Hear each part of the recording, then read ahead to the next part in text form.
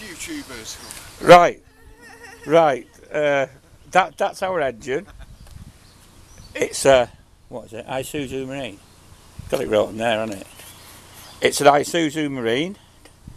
Anderton aren't going to like it. They've had the hatch open, uh, and that's the way you clean the propeller. That's basically it.